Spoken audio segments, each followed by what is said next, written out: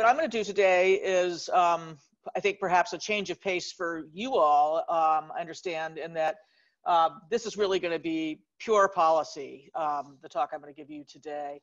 And um, although I'm not a partner at Energy and Environmental Economics anymore, I'm still affiliated with the firm and I um, continue to work with them. But I launched a new firm with professional colleague, e-mobility advisors, which is really the, our goal is to work full time on policy to promote transportation electrification across the board. So, um, hence the E3 um, um, PowerPoint format, but um, the new title. And um, I think the other reason this is in the E3 PowerPoint format I'll mention is just a lot of what I'm going to present to you today is distilled from recent reports that um, I've worked on with E3 to share with utility clients who are always eager to understand what's going on in other parts of the country.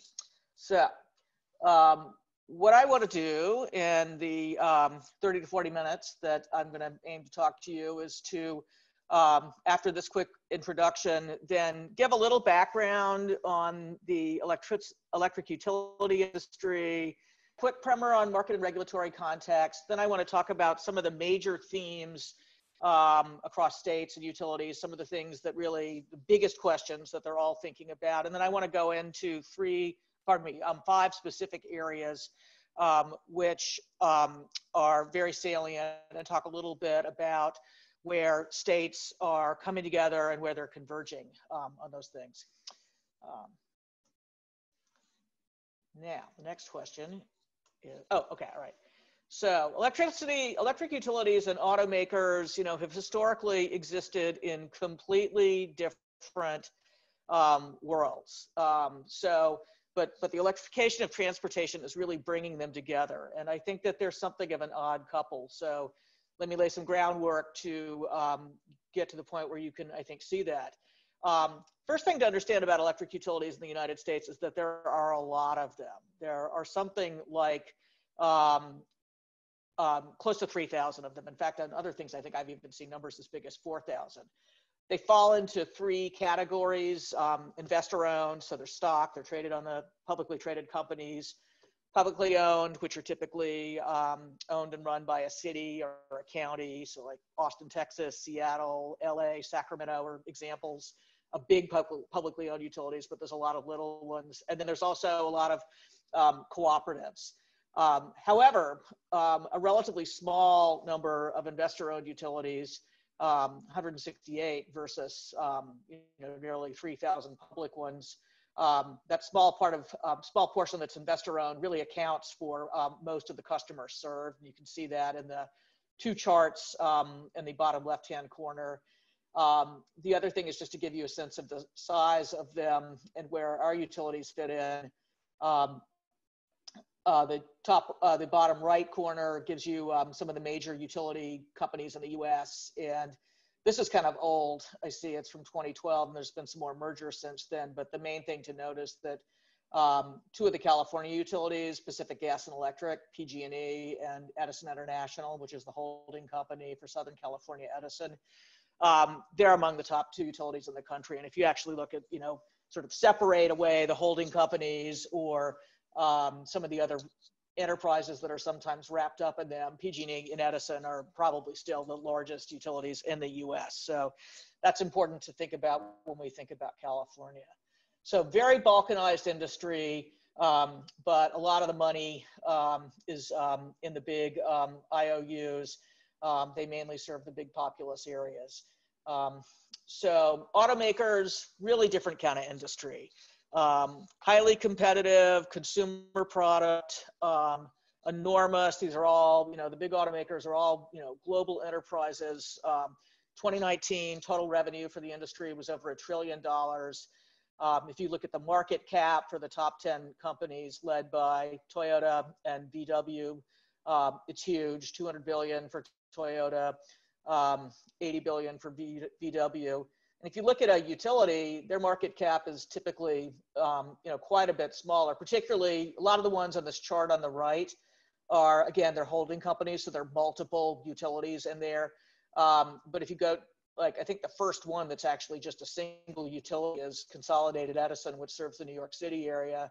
um, and then PG&E. Um, as of April last year, about a year ago, this their market cap was 27 million for um, Con Ed, 22 million for PG&E. If you follow the news, you know that lots of things have happened that have caused PG&E's stock value uh, to go down. Um, so I note below that their highest market cap since 2006 was 35 million. So, you know, one utility, one big utility has about the same market cap as a, you know, as a um, good-sized automaker and is dwarfed by the, you know, the biggest one. Um, and the revenues also, if you look at like Toyota's 2019 revenues of 172 billion dollars, compare that to PG&E's of um, about 17 billion dollars. Again, order magnitude difference. So, you know, just to put them in perspective. Um, so the other thing that's, in, and I'll, I'll come back to what the significance of some of those things are, but just bear that in mind.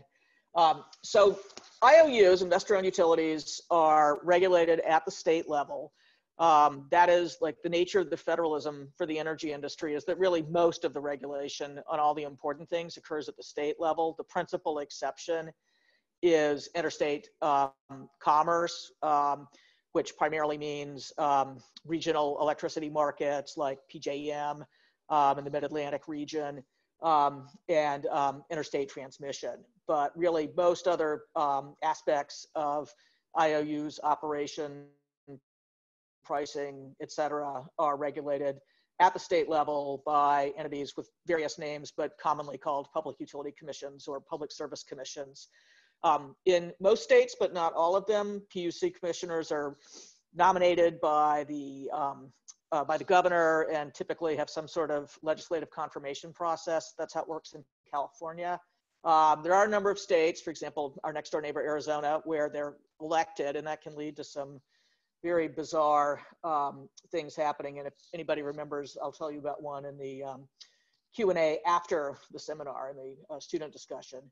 Um, so EPA regulates smokestacks, um, but um, PUCs regulate pretty much everything else. So it's really these investor-owned utilities are local monopolies. What they have a monopoly over depends on whether or not they're in what's known as a restructured state um, where they're still fully vertically integrated and they handle all aspects of generation, transmission, and distribution of electricity.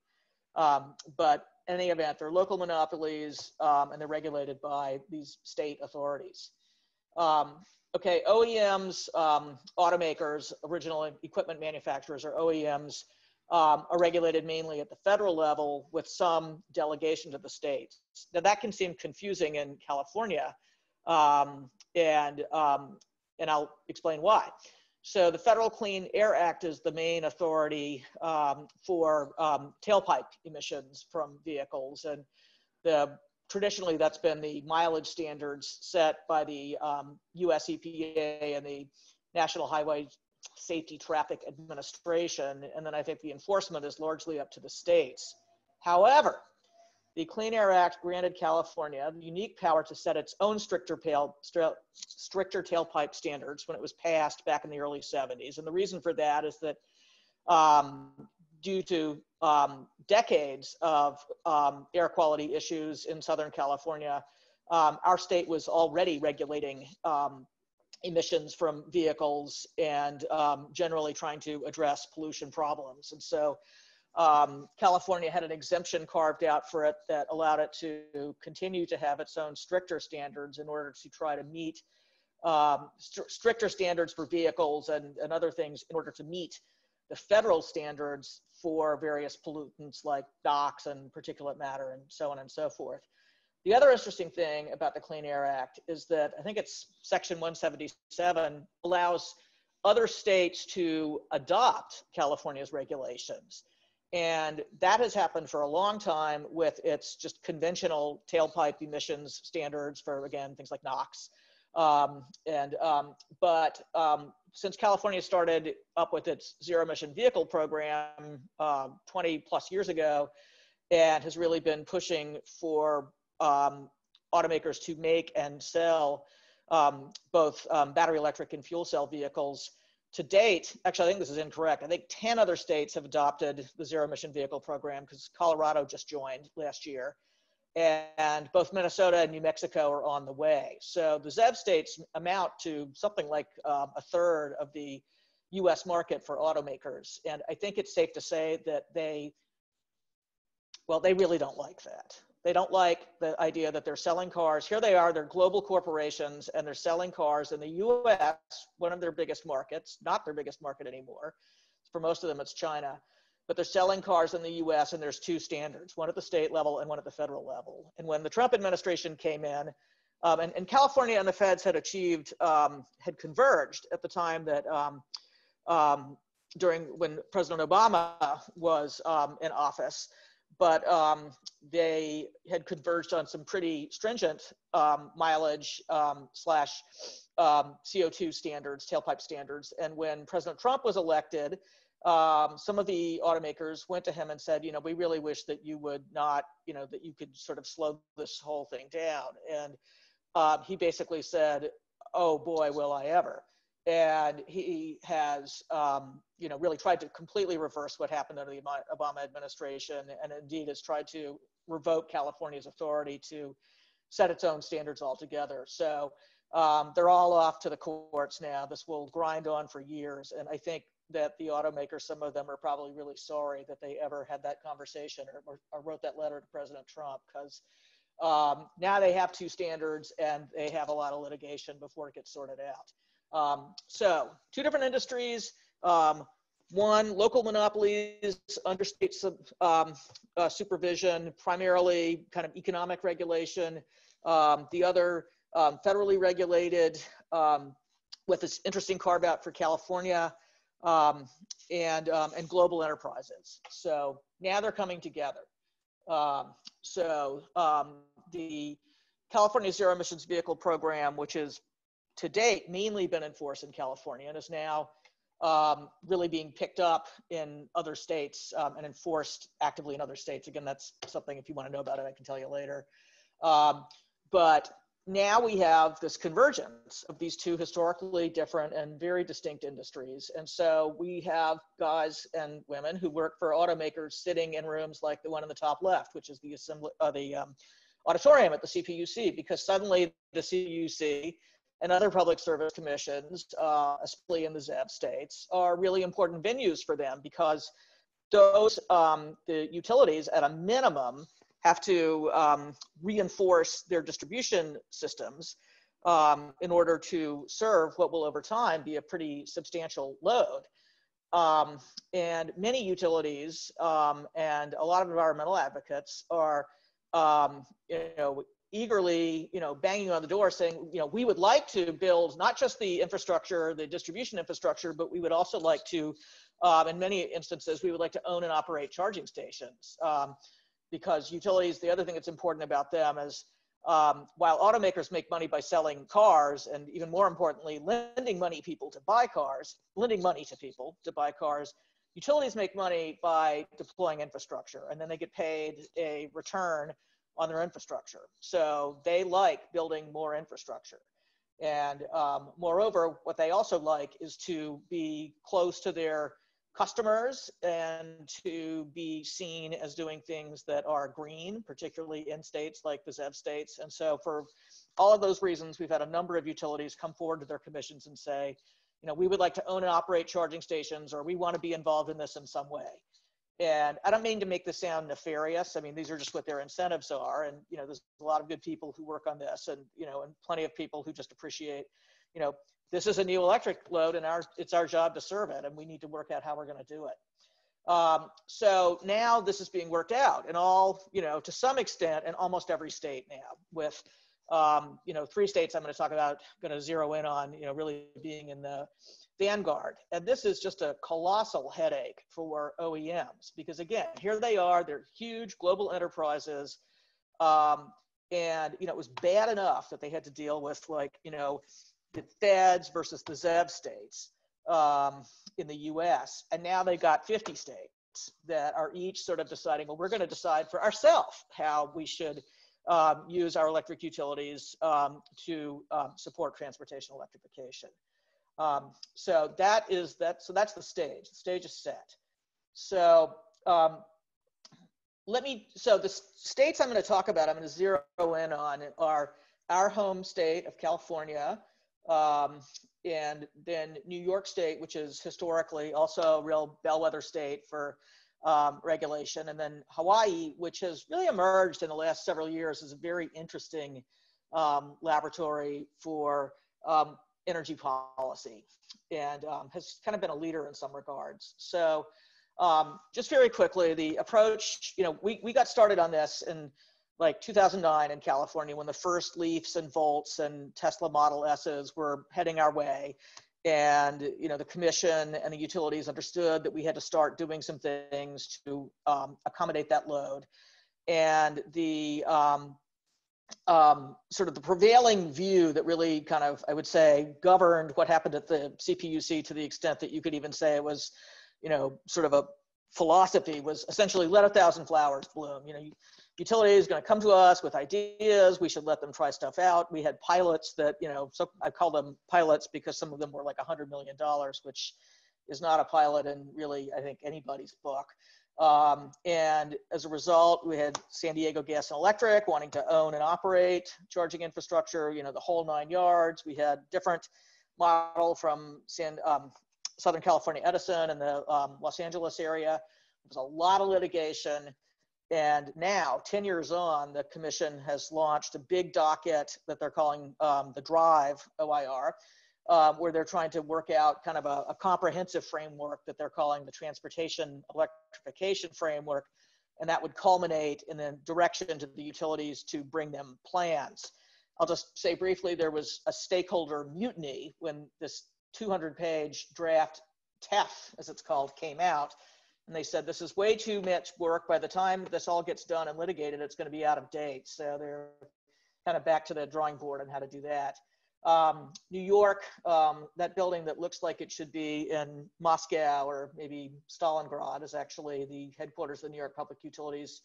Um, or it's, anyway, it's on the Capitol Mall in um, Albany. It's really a scary looking place. And they've really come at it from a much more top down um, view where it's like, you know, they've sort of told the utilities to try some stuff, but then they said like, you know, we're going to tell you what we want you to do. You know, we're going to tell you what role we're going to have. So they had a very, very kind of what I would call a lean stakeholder process. They had a few workshops, they got some written papers. Um, they had E3 work on a, um, um, a study for their um, companion research agency, NYSERDA, on cost of benefits. And then they put out a white paper in which they said, okay, this is how we think it should be. Um, here's our model. And then the third one is um, Hawaii, where for several years now, the Hawaiian Commission has really been saying to the utility HECO, um, you know, like basically they, they put out a decision maybe like seven, ten years ago when solar was first becoming a big thing and, you know, and just said like, listen, you guys, you are just from the last century, things are going to be different now. You know, this is how we're going to do stuff. You're going to be more customer oriented. You're going to be more receptive to distributed energy, distributed energy resources, including solar. And then, you know, they hammered on them several more times. And they let HECO do a little bit around EV charging stations. They actually did a really cool pilot with um, Nissan at one point. Um, but when they came back for more, um, and this was what I would call a real pilot, very small. When they came back for more, the commission said, no, that's enough. Um, we want to see your plan. We want you to go do stakeholder outreach, and we want you to come back with a comprehensive electrification strategic roadmap that lays out your priorities for the near term, the midterm, and the long term, then out to 10 years, you know, across all the potentially electrifiable technologies. And so I had the privilege to work on that when I was at E3, and the um, document is available if you go to E3's website or, or HECO's, and I think it's still really sort of set the standard for one of, what one of these plans look like. Um, so anyway, so three of the states, and then so we'll just sort of follow them through. Um, so um, to um, as you think about an energy regulator, really fundamentally, they're they're mainly about the money. I mean, a lot of other things have come in the picture, but um, the PUC, again, like it sets the rates, it allows the utility to collect money from its customers, to give a return to its um, shareholders, and to you know make certain investments. That's at its core. That's really what they do. Um, but in places like California and a lot of the other ZEV states, um, you know, um, regulators and utilities have um, been pressed into service to support social and environmental goals. And um, and none more, and, and, many of these sort of come under the heading of what we call market transformation. So the idea of taking, you know, a relatively new and not yet commercial technology, um, like in the last decade, you know, renewable energy, and in the current and coming decade, um, electric vehicles, you know, transforming the market for those to make them fully commercial and, you know, and, and pump priming. So that's, you know, become a core part of the mission certainly of the California Commission, and um, I think it's fair to say that you know the Hawaii Commission and um, to a large extent the New York Commission understand you know see themselves the same way. So they want market transformation. They want to support their states you know EV um, adoption and greenhouse gas mitigation goals. Um, for sure, they care about rates. Um, but the other thing they really care about when they're kind of setting the rules for like who gets to do what um, and how much the ratepayers pay for is they also want competition and innovation. And you know they're mindful that the utility is a regulated monopoly that it has essentially you know guaranteed capital recovery and they have to somehow play this like do this delicate balancing act to create a playing field in which you know new entrants um, providing um, for example charging services can come in and carve out business models in um, in an industry that really has no natural monopoly characteristics. You can't really say that you know EV charging is a is a natural monopoly like the way that you know the wires um, portion of the utility is. So what they're trying to balance is like, well, if we have the utility do it, you know, they could go really fast, and um, we could really deploy a lot of charging infrastructure, and that help sell a lot of cars but then maybe we would like snuff out these new entrants who are probably more innovative than the um, than the utilities. And really, a lot of my work and just sort of thought that I've done over the last 10 years has really been around this core question. And so we're going to see how that's played out in, um, in various states. Um, so the last thing I want to say is if you sort of think about the market transformation challenge of EVs from the perspective of um, the auto um, industry, of the you know the environmental advocates, of you know generally you know the broader community who want to see EVs adopted. Um, we kind of came to the conclusion again in the work that we did with um, utilities and regulators at, at E3 is that it really makes sense to frame that conversation around you know what are the adoption barriers to EVs, and there have been study after study, a lot of good work out of um, ICCT in San Francisco, um, but certainly not limited to them. So surveys and studies on factors that um, you know stand in the way of people buying cars, and typically you know they zero in on you know people just don't know that much about EVs, and they're worried that they can't charge, that, that there's not enough charging infrastructure. Um, so range anxiety, um, and and today they still cost more than other vehicles, and there there's some other things. And then from the utility perspective, um, you know, there's also this question of, um, you know, how do we integrate this big new load and um, into our grid, in particular our dis- distribution grid, where a charging EV can use as much electricity under cer- certain circumstances as a house does today. And um, so there's that question for them, and then there's the other question. Um, you know, most cars aren't driving most of the time, so can we somehow incentivize people to drive and charge their cars in a way that's advantageous to the grid and particularly helps us um, absorb solar energy. We did a lot of work um, at E3 on this, I'll, I'll mention. Um, okay, so when you think about what the utilities role will be, um, they're really they're really three models, although there are four shown here. So um, model number one is just basically this is a load like any other load. It's just like a new subdivision. You, you know, the utility's job is to just provide the service connection. So all the stuff on its own system, you know, the wires, the service drop, the transformer up to the meter, you know, that's their job and that gets, you know, recovered through rates. And everything else, that's up to the customer. Um, the um, so that's like I said, that's that's business as usual.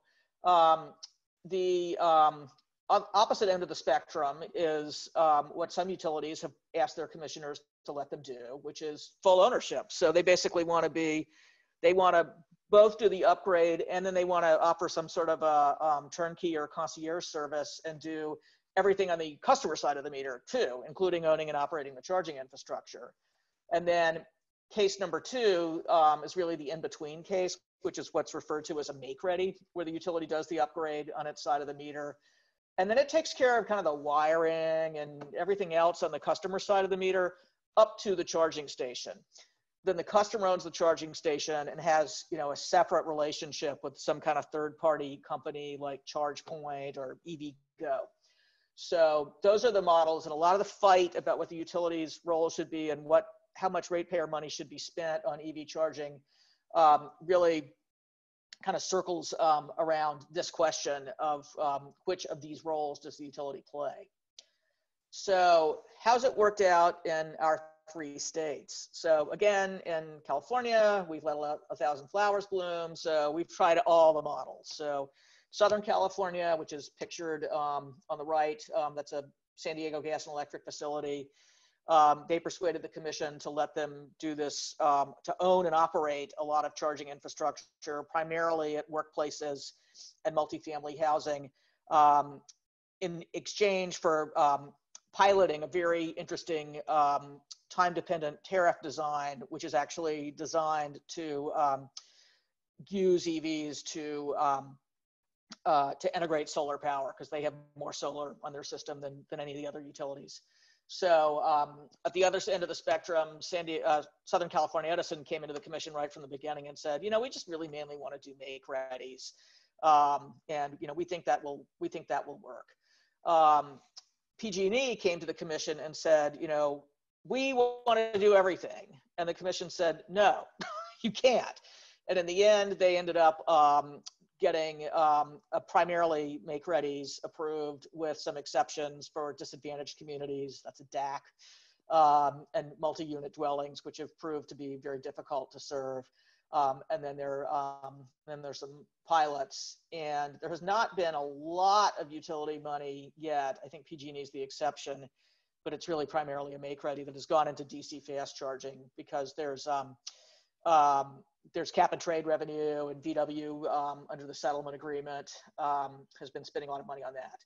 So kind of a mishmash in California, but I think in this, you know, this docket I mentioned before, the policy docket that's happening now, they're really kind of realizing, you know, that nobody nobody thinks that it's wrong to do make readies, you know, or everybody thinks it's fine to do make readies. So then it's really more about what are the circumstances in which it's, you know, acceptable for utilities to do more. Um, New York, you know, very different kettle of fish than California, you know, fully restructured state.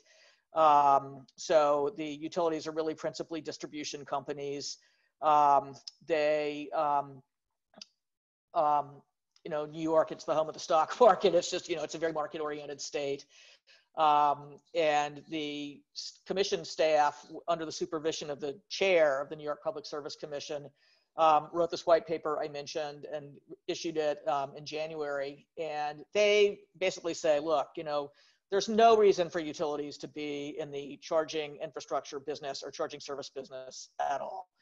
And we don't want them in it. And we think the make ready model is fine. And we understand that in rural upstate areas of New York, um, it's going to be difficult to deploy the network of DC fast chargers that's needed to, you know, give people the range confidence to say drive to Montreal.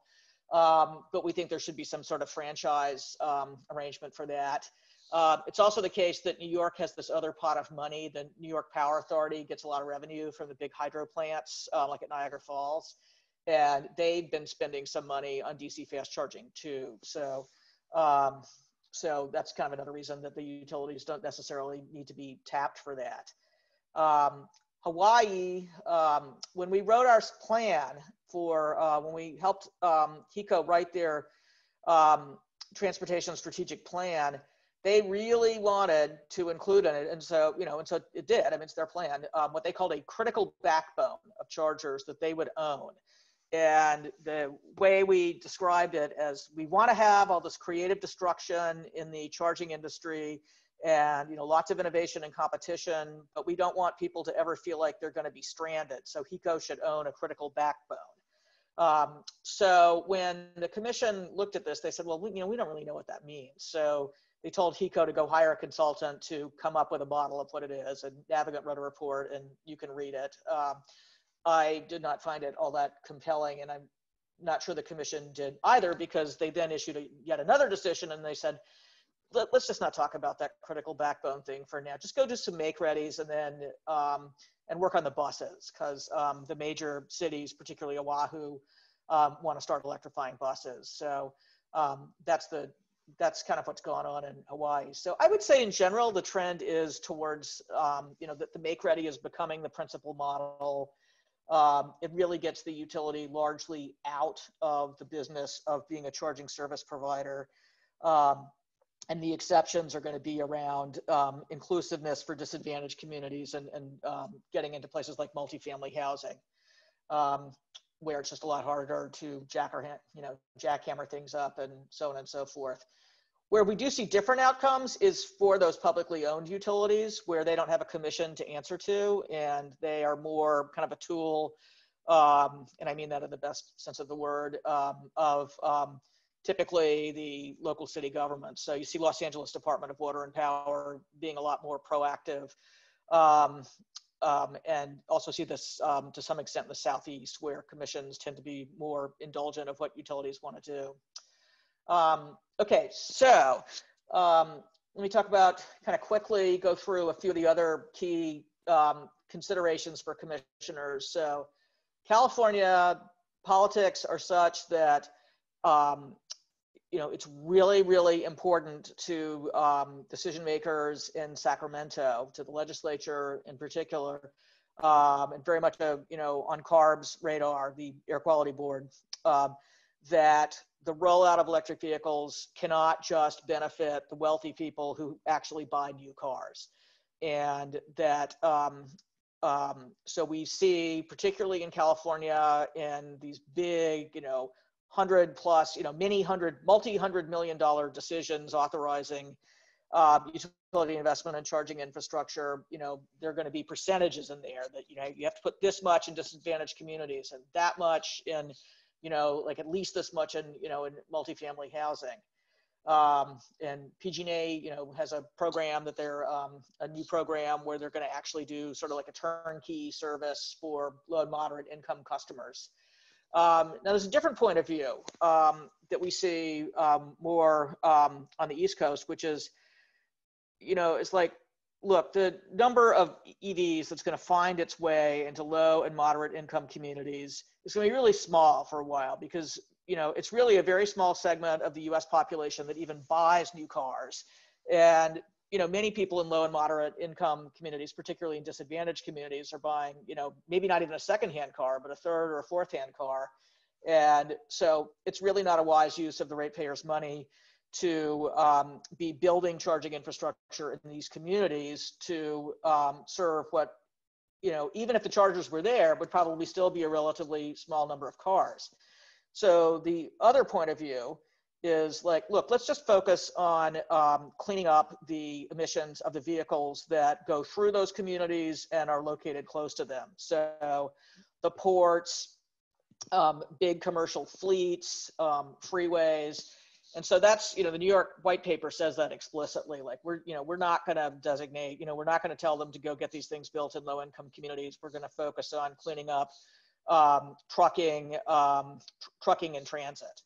And um, i mean i will say california is doing both. I mean we lead the country in terms of um, what we do with ports and transit. So um, you know we have a um, kind of i'm going to have one of everything on the menu or maybe even several of everything on the menu approach. But um, I think the key thing is that um, you know some of these more market-oriented states again don't see it as you know making that much sense to put um, infrastructure in um, low-income communities.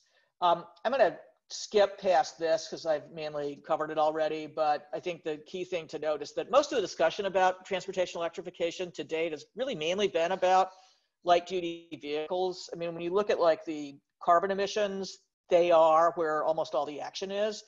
But if you look at the local air quality impacts, then that's all um, transit and goods movement. And um, so you, you know, you get a double whammy. And that's why CARB has actually moved away, for example, from zero emission bus program, and they now call it the advanced clean transit rule, and everything else in this is an advanced clean car, advanced clean truck rule.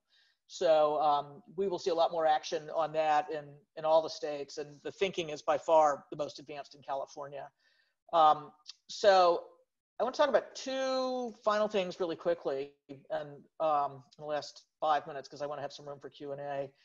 Um, so cost benefit analysis, this is something that has been, you know, honed to a very fine point over decades at commissions like the ones in California and New York. And, um, you know, new investments, for example, in energy efficiency or um, the decision about should we build this power plant or do the storage thing, they go through the cost benefit analysis ringer. There's been a big discussion about, you know, should we be, you know, applying cost benefit analysis to transportation electrification um, um, investments that utilities are making with their customers' money. And um, um, San Diego Gas and Electric commissioned E3 to do a cost benefit analysis for them of um, the program that I told you about a few minutes ago. And then I don't know if they threw it in the circular file, but nobody looked at it at the commission. They just sort of steamed ahead. They haven't really worried about cost effectiveness at all because their view is, look, this is market transformation. We're at the early stage of this market. Why would we expect these investments to be cost effective? Um, you know, we're trying to um, we're trying to accomplish something that you know is not really readily priced. Um, on the other hand, you know, with um, John Rhodes, the chair of the New York Commission, when I met with him to discuss some cost benefit analysis that we did for NYSERDA, you know, he expressed a concern that he wants to use the ratepayer dollars, ratepayers' dollars wisely. Uh, and I, I, mean, I do think most commissioners, including all the ones in California, feel that way as well. Um, but they leaven that wisdom with their concern about market transformation. And you know, so he wants to be discriminating about which programs, you know, yield more benefits. Um, the Hawaii plan includes some cost benefit analysis, but again, it wasn't really something that was determinative for their commission. Um, so but again, like the dollars have not really been big in any state yet except for California. And some states have started to say, okay, when you come back to us, utility, with a, you know, a hundred thousand, uh, sorry, a hundred million dollar program or something like that, then you're really going to have to prove that it's going to generate benefits, not just for people who own EVs, um, but for the general body of ratepayers as well. And the reason that it would generate benefits for the general body of ratepayers as well is that if um, the um, charging EVs doesn't require much or any new distribution infrastructure, then you're basically recovering those fixed costs over more kilowatt hours of sales. Um, and if you do some sort of smart charging to shift the charging, you know, for example, to um, overnight, um, the wee hours, then you're going to use it even, you're going to use your fixed infrastructure even more efficiently. And you can look at these later. These are two charts I pulled out of the um, Hawaiian Electric plan. Um, but what they show is that um, from kind of a, a, regional perspective, if you compare the cost of serving um, the um, EV load to all the benefits that are reaped minus the environmental benefits, the big dominant thing is this light lavender bar, which is the gasoline savings. And um, when you compare those to the cost of making electricity, it's cheaper. Um, um, I'm sorry, the, the, the, the, lavender, yeah, the lavender is the um, avoided gasoline um, consumption. So it's cheaper, but who's getting those benefits? Well, the people who own the cars, the EVs. So the other question is if we compare the cost of serving the load to the revenue paid in, the rates paid in by the people who own the cars, does the cost of serving them, is the cost of serving them more or less than what they pay in? And what we found in Hawaii was that it was more than what they pay in, especially again, if they're primarily charging off peak. So um, this is the kind of, thing that commissioners care about. But this is the level at which this has been done so far is purely like, you know, what are the effects of EV adoption per se? The question that's not being asked is, um, although we did a little bit in New York, question is not really being asked so much as like, but how does that compare to how much the utility wants to spend to help make this happen? Um, okay, last thing I'm going to talk about is, um, so I just talked about how the benefits to the general body of ratepayers are greater um, when we have smart charging. So we shift charging to off-peak hours, or we put it push it into hours when there's a surplus of solar power. Um, there's a lot of different ways that you can do that with rates. Um, there have been a lot of creative um, rates um, experimented with around the U.S. Um, I mentioned the one that San Diego tried. That's a time varying rate that specifically encourages charging um, at times of day when there's surplus solar. Um, New York um, had a pilot with a really interesting company called FleetCarma, teamed up with Con Ed, and they did a um, uh, they piloted an approach that basically just paid people a reward if they went the whole month without ever charging during the on-peak hours. Um, Hawaii is um, again at the direction of their commission, um, at, even as we speak, um, developing um, um, EV rates that are going to have the same, I think, same goal as the particularly the SDG&E rates to use their surplus solar energy. when asked by clients when we um, at E3, you know, what rate did we like the best? We always pointed them to this um, San Diego gas and electric rate. Um, and the thing that we liked about it was that um, it's a three-part rate. So um, there's a customer charge, so just like basically what you charge, you know, pay every month to be connected and you know have a bill printed and sent to you. You know, then there's kind of a charge that's associated with kind of the, the total size of your footprint on the grid, and that can go down um, um, if you um, use, um, if you, you know, spread your load out, even it out some. And then the really interesting thing on there was the marginal cost value-based um, charge, which varies by hour. So they took the California ISO day ahead prices and they said, okay, tomorrow is going to be a high solar day. So the price is going to be really low in the afternoon. And um, we're going to show that to the customer in the hopes that they will choose to charge then. So um, really interesting example. Um, again, happy to provide info on all of these. So um, I will just say the main punchline from this, this slide is that when we actually looked at dynamic rates, like the one I just described versus standard time of use rates, um, the dynamic rates really provide a lot more value. Um, and that's because they pick out the days um, where it's most useful to have somebody move the, their charging around. So they provide a lot more value to the grid. And so that's, that's why we um, um, always supported those rates. So that is um, all I have to say that I have time to say. And I'm happy to take your questions. Great. Uh, thanks very much, Nancy. That was a terrific tour de force covering a uh, huge amount of uh, territory. Uh, so I'm going to try to uh, summarize a long list of uh, questions. Uh, there are several questions that kind of get at uh, just probably viewing you as one of the world's expert on all this. Uh, of the states you've looked at, which which ones do you think are doing the best job managing this transition? And are any of them moving as fast as you think uh, they ought to to achieve the objectives that we all have in mind. You can define whose objectives you you would like to use as a reference point for that.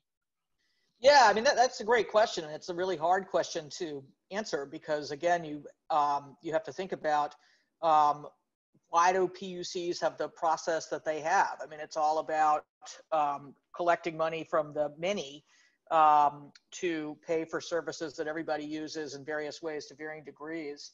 Um, I think to me, a couple of things stand out is, I mean, I like how they did it in New York because, and, and Hawaii, because both of them were, you know, the commission, I think, provided some direction to begin with. Um, and, you know, some you know, in Hawaii, kind of like this is what you want. These are the questions we want you to answer and how we want you to do it. And it was a pretty compact assignment. Now, Hawaii is a relatively small and uncomplicated place. You know, in New York, um, they really had a pretty lean stakeholder process and, um, you know, came out with a paper and said, okay, just file this stuff in your rate cases. You know, um, and it took them, I think, a year and a half to write the paper because they were busy with other stuff. So you know, and this is a problem, you know, with regulation is that, you know, legislatures um, and regulators' ambitions often exceed their means. Um, even when I worked at the California Commission, I was just blown away by the amount of paperwork and process it takes to do anything there. And I continue to believe that that's, it, it, it doesn't, like, that people can get due process without that much process. And um, so I guess I would look at those. I, you know, I like how it's worked out in those other states. Um, so one more, uh, uh, it's kind of a collection of many issues. It seems like a lot of the action here has to do, and you could it up this way, with uh, charging capacity. So uh, who should own what types of charging capacity and who should have access to that? You've already talked a little bit about who benefits and uh, who pays, but is there a, a general, you, you see different business models coming out where in some places util and you actually gave one example of utilities either could do it or not do it oems could do it or not do it municipalities could do it uh, third parties could uh, could own it mm-hmm. any general uh, wisdom from your perspective on that if you say you were um, uh, and you you may be doing this for all I know. Suppose you were a VC and you were getting a bunch of um, uh, new business proposals from different people who are going to buy and sell essentially um, uh, electricity from uh, charging capacity. And so the uh, investment would be in charging capacity. Which ones do you think would make the most sense, or do you just need a wide range of uh, possibilities to fit the different uh, circumstances one finds in the different states and sectors? Um, boy, there's a lot of questions wrapped up in that question. Um, I mean, I am a big fan of creative destruction. So, you know, it's why I really have, all, you know, pushed hard in every jurisdiction where I got to talk to a regulator. I've always pushed hard for the make ready uh-huh. model because I think essentially that provides a sufficient financial foundation to enable various charging companies to try out different kinds of models for interfacing with customers and you know, for pricing, charging services, um, or packaging up subscriptions. And um, I think that, um, it, you know, and they, they've all, I mean, I guess the other thing I'll say is that um, I also think that that free money from the, you know, from the EVSP's point of view, from the charging company's point of view, that free money has to be conditioned to some extent you know and that is part of what results in so much litigation is how much it's going to be conditioned. But one of the things that I think California has done and some other commissions are thinking about is that um, there has to be some kind of interoperability. Um, if like if the ratepayers, the you know the general body of ratepayers are going to subsidize your EV charging business, then everybody has to be able to use your station. It doesn't have to be free, but they have to have a way that they can that they can use it. And um, so, and they don't have to have a, you know, um, a keychain with 27 different RFID cards on it. They should be able to call a number or swipe a credit card or, or whatever. Um, and I think that's, you know, that's, that's important. Um, if there's a part of that question I didn't answer that you would like me to answer, feel free okay. to re-ask it. I may, I may, uh, yeah, in a way I may do that because I'm going to parse things a, a, a little bit uh, there are a whole uh, host of questions on what I would call grid integrate related grid integration yeah. issues. And I know you touched on it a little bit, but you know everything everything from is the system going to be able to take the um, increment and total load? Is it going to be able to manage the various loads? You know, between uh, you know having more renewables on, having charging, perhaps doing vehicle to grid. Uh, mm-hmm uh, trades and so on. How, how do you see that working? I, I see people uh, either say it's totally impossible to go very fast or we'll work it out, the whole thing will work. We don't have to worry about, those are just details. If we get everything set up, if we build it, they will come yeah. effectively. How do you see that set of issues? Yeah, I mean, this is something that we really looked at a lot from a lot of different angles at E3. Um, you know, at some point, some of you have probably seen someone from E3 present on the Pathways model, which is a energy systems model of the entire economy. And yep. I like to start there, you know, in some forums when I talk. And, you know, what that shows is that really the new, even with super aggressive adoption of EVs in California, and this would be true anywhere, um, super aggressive adoption of EVs, um, and sort of meeting the kind of energy efficiency targets we have that we pretty much have flat load at the system level all through the 2020s you know and that was before the covid economic crisis hit. Um, and then it ramps up kind of gradually after 2030 because at that point um, the new cars are very very efficient. You know the lightweighting has been very successful and um, and so on. So we have never regarded it as a problem for um, the you know generation. Um, so the issue is really primarily at the distribution level, and you know if you have a lot of cars really concentrated in a relatively small you know uh, distribution area, um, you know, how do you um, how do you serve them? And I think that's the most immediate question. It's you know the utilities were all wringing their hands 10 years ago that they were going to have exploding transformers and you know no such thing has happened since then. And what they've spent to accommodate the cars that have been sold to date is pretty modest. Um, but that will become an issue going forward but it's something that they should be able to plan for. Great. and i think there's some you know there's a lot of different technologies to solve that problem. Two more quick ones. If you were yeah. uh, advising the utility which i it sounds like you do a lot uh, how would you um, advise them to prioritize? You, you, actually did touch on this explicitly, but didn't say too much about it. Would you go for the uh, light duty vehicles, for the uh, commercial market, for uh, municipal EV fleets? Is there anything, anything, any general guidance in that area?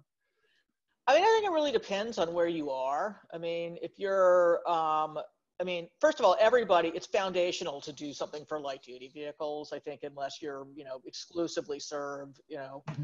an area where people just don't have, you know, if you're like a rural co-op in Montana, that should probably not be your priority. But if there's like a meatpacking plant that, you know, trucks go in and out of all the time, um, school, then maybe you should thinking about the trucks. Um, but if you're, you know, the way they looked at it for clients is, you know, beyond light, you know, light duty, um, then what are the major, um, uh, you know, commercial and industrial transportation related loads in your community? You know, has your transit agency decided that they want to electrify their fleet? Um, or, um, you know, do you have big, you know, multimodal depots or a port or, you know, so I think there it's all very, you know, very location specific and you really need a custom assessment. One last question that's come up in many of the seminars this quarter from totally different uh, angles is once you start down the EV road, um, how long before, um, surprise, surprise, it turns out that fuel cell electric ve vehicles are actually an even better idea? Right. You, I guess for you, do you feel the system has been set up a way, in a way that kind of compromises, it's kind of a path, a, a lock-in pathway problem. Um, do you think the current initiatives could uh, kind of fit uh, hydrogen fuel cell vehicles, or we need something else, or are we making you know uh, investments that we'll regret because we should have known that the hydrogen fuel cell vehicles would ultimately beat out the uh, EVs? How, how do you come out on that set of issues? Yeah, it's it's a really interesting question. I mean, um, you know, the Air Board has really gone out of their way for years, you know, to um, call, you know, call it a zero emission vehicle program, to have a fuel cell path to compliance. You know, they really wanted to figure out a way to finance the, you know, charging or the um, hydrogen refueling network um, for cars. Um, they thought they were going to use the low carbon fuel standard to get the refiners to pay for it, but that didn't happen and you know there's a modest number of stations in California and really no place else, and that I think has led all of the major OEMs to just think, well, we got to have an electric player in the game. My understanding though is that the bigger factor is actually in China, where they've really gone heavily, you know, electric, and um, that that you know that's really the tail that's wagging the or it's the dog that's we're the tail, they're the dog. Great. Uh, well, uh, thanks for a terrific seminar and for answering all these questions so skillfully. I think you just proved my um, uh, my hypothesis that you're one of the few people alive who actually can play three-dimensional chess while roller skating. so thanks, thanks Only again. Metaphorically, and, John. Uh, we'll look we'll look for you on campus here with particularly with the Bits and Frost, uh, Watts program down the road as soon as we're all cleared to travel. Great, thank you. Great. Thanks a lot.